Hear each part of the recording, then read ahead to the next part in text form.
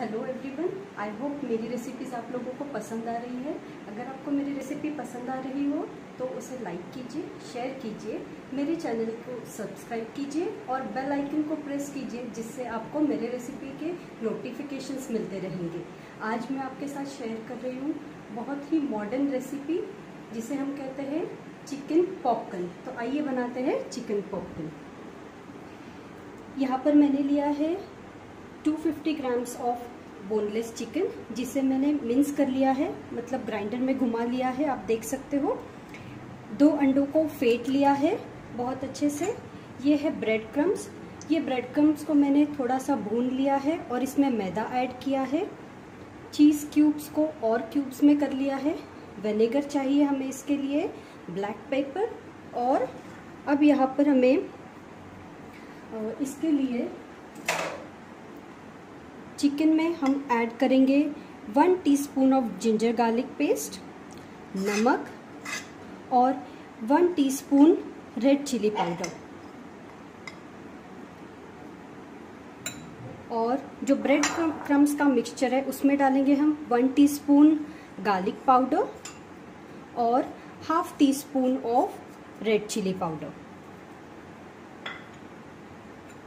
इसे हमें बहुत अच्छे से मिक्स कर लेना है। जिस, जिससे चिकन में जिंजर गार्लिक पेस्ट का और रेड चिली पाउडर का अच्छे से फ्लेवर आना चाहिए। अगर हम इसे हाथ से करेंगे तो ज़्यादा बेटर है। इसमें हमें थोड़ा सा ब्लैक पेपर ऐड करना है। तकरीबन आधा टीस्पून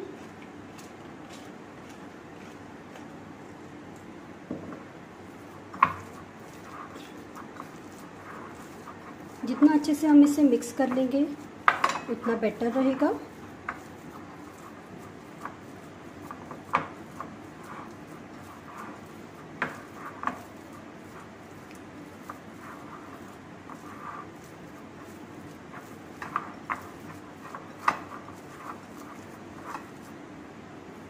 हम इसमें अभी एक टीस्पून विनेगर ऐड कर लेंगे। हम इसमें नींबू पानी भी ऐड कर सकते हैं। फिर से इसे एक अच्छा मिक्स देंगे।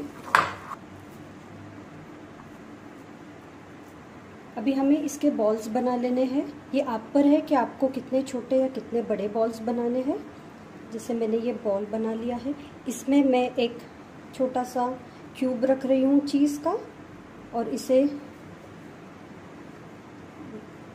ऐसे गोल बनाकर रख रही हूँ। ऐसे ही हम जितना भी हमारा चिकन मिन्स है, उसका हम लोग ऐसे बॉल्स बना लेंगे। ये हमने कुछ बॉल्स बना लिए हैं, जिसमें हमने बीच में चीज़ क्यूब रखा हुआ है। ये ब्रेड क्रम के मिक्सचर को अच्छे से मिक्स कर लेंगे। अब हमें क्या करना है? इन बॉल्स को पहले एग के मिक्सचर में डालकर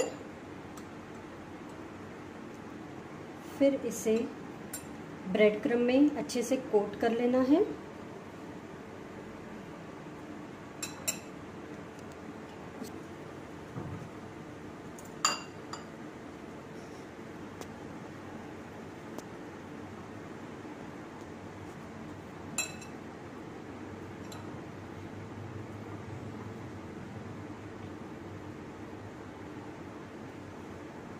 इसी तरह हमें एक एक करके सारे बॉल्स को एग के मिक्सचर में और फिर ब्रेड क्रम्स के मिक्सचर में कोट कर लेना है।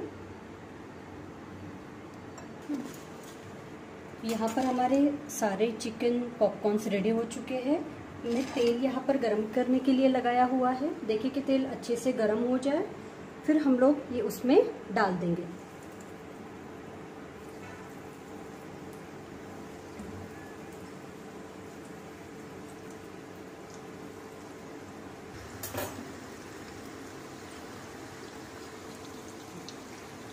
आप देख सकते हो यहाँ पर कि ये फ्राई हो रहे हैं। और अगर आप चाहे तो इसे बेक भी कर सकते हो। ये पूरा प्रोसीजर फॉलो करने के बाद तेल के बजाय आप इसे अवन के ट्रे में रखकर बस कुछ देर के लिए आप इसे बेक कर सकते हो।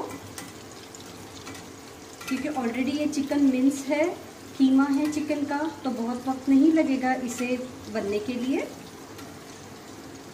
आप देख सकते हो कि अभी चिकन पॉपकॉर्न गोल्डन होने लगे हैं और यही उनका प्रॉपर कलर है तो और ज़्यादा हम इसे डार्क नहीं करेंगे। बस इसे एक पेपर टाल पर आप निकाल लीजिए।